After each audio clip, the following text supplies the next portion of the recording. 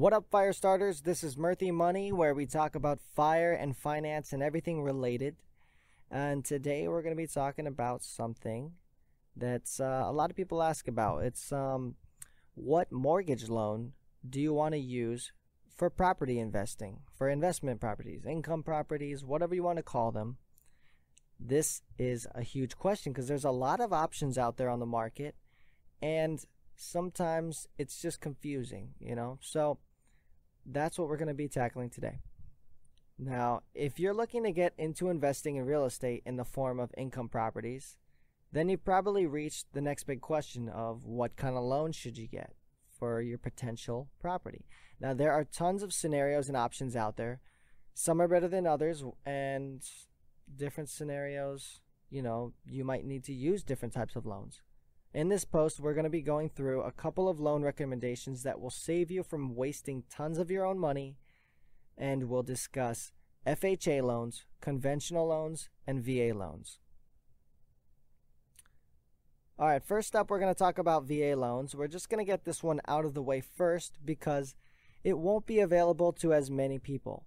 The VA loan is a special loan for military members and veterans. If this includes you, then you get a small perk in the real estate world and for one and possible possibly two properties. The VA loan allows you to take out a loan for a home uh, that you will live in and you can put zero dollars down. The downside is you can't rent it out legally with um, you know the initial loan. But after some time goes by, you can refinance it into a different type of VA loan or a conventional loan and then you can rent it out. Another option is to use the VA loan to buy and move into a home and rent out your old house. I bought my first home on a VA loan.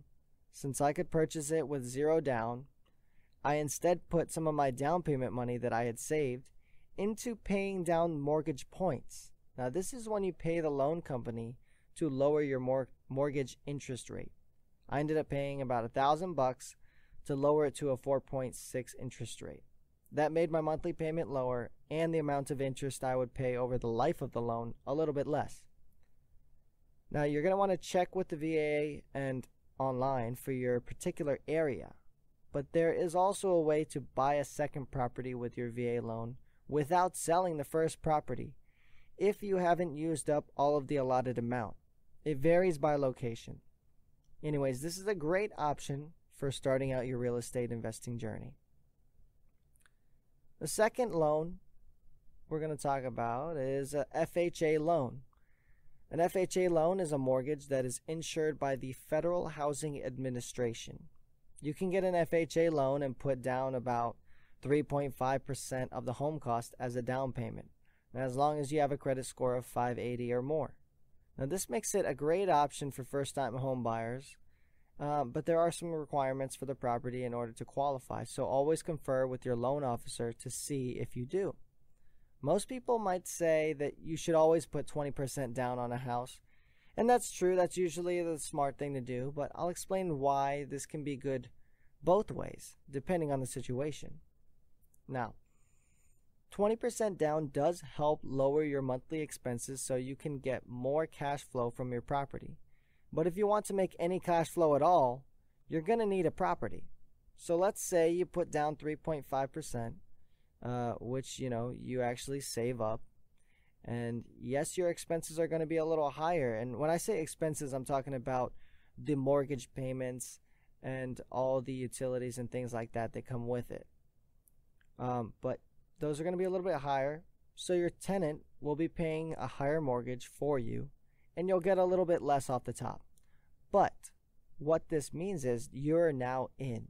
You are an investment property owner. The tenant is paying it for you and building your net worth every time they pay uh, pay down on your loan, and a little cash flow. You know, you only had to put down a small amount of your own cash. This is what the real estate investors um, take control of anytime they can, and it's called leverage.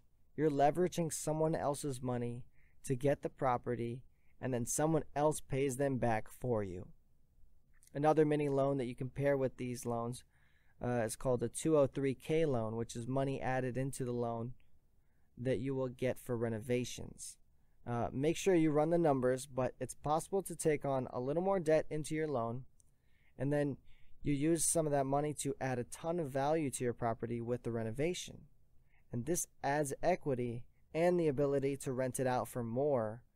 Uh, you know, and eventually, you know, it's all on the dime of the tenant. They're actually paying for your renovation if you uh, if you think about it like that. Now, the one downside of the FHA loan is that because you are putting down less than 20%, you will have to pay PMI, which is private mortgage insurance. And extra monthly fee because you're a bit more risky for the loan company. Make sure you check with your loan officer to see the PMI rate and then add that into your numbers. Uh, you can just use like a mortgage calculator online and, um, you know, make sure it's still going to work and cash flow for you or at least cut down uh, on your expenses on that front. It can it can definitely be worth it even with the PMI. If you find the right undervalued property and things like that, you can get out of PMI after seasoning the property, which is you just kind of hold it and you're paying down on it over like a 6 month period and then you can refinance. But just make sure it will benefit you to refinance because that also is closing cost expenses all over again, and you're going to be changing your mortgage rate as well. So it might have gone up in the past six months. Just you know, make sure you're looking at all these things before you make any decision like that. Now, the next loan we're going to talk about is conventional loans. Conventional loans are what most people get. You can invest with these loans as well, and you can put down between 3% and 25% you know, obviously, all the way you could buy a house in cash if you want, but that's not going to be a loan. That's you're just buying it. Now remember, just like the FHA loans, they have to protect themselves. So if you put down a low down payment, lower than 20%, then you will have to take on in this case it's called MIP, which is mortgage insurance premium. Um, but don't worry too much because this one you don't have to refinance to get out of like the FHA loan. This one will automatically fall off once you hit 20% equity in the property. So that just means as it's getting paid down, one day it's going to hit 20% equity, and then boom, all of a sudden you're cash flowing a little bit more than you were yesterday. Now that'll come over time, and uh, it's another hack that investors do strategically, um, but you could renovate the property right after buying and then get an appraisal and you take that to the mortgage company and they'll show, you know, as long as it's pulled it up over the 28% equity mark, uh, then you're free, you know, and you have a low in, uh, low down payment conventional loan. Uh, a few extra tips that we're going to go through is uh, mortgage insurances aren't a big deal in the scheme of things. So they shouldn't be a deal breaker but you have to run the numbers correctly to make sure that you're not just throwing money into these insurance programs. Um, you know, because you're also going to have your regular homeowner's insurance. Um, to get the best interest rates on your mortgage loans, you will want to have a 740 or more credit score.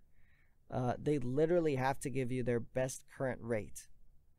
Um, and if you want to get access to the best loans, then you will have to buy and move into the new property.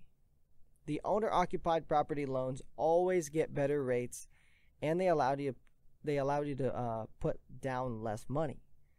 Now, if you want to buy it as an investment property outright, then the loan company might ask you to put down 20% to 35%. Now, this will end up being a lot of saving time. Just think of it as the same as having to move um, you know, move into the property and rent out your old one. Because that's the same as, like, let's say, moving every time your rental lease ended, you know, except for you'll be buying and holding and accruing wealth along the way. The next tip is always get a 30 year fixed rate loan. Don't get any 15 year, don't get any variable rate loans. They're going to kill you. This is going to, you know, get a 30 year fixed rate loan this is going to protect you from having changes in your monthly payment and it's going to keep it low, low monthly payment as as much as possible. Because 15 year loans, means you're going to have higher payments, which means less cash flow from your tenant. Another thing to note is if you already have some income properties, you can use up to 75% of that rental income as income proof to qualify towards your next loan. Um, the final tip I'll leave you with is this shop around your loan. Find at least three mortgage lenders to work with, and when you decide what loan you're going to go with, get pre approved with each lender, and then take the one with the best deal or the lowest interest rate and ask if the other companies will beat it.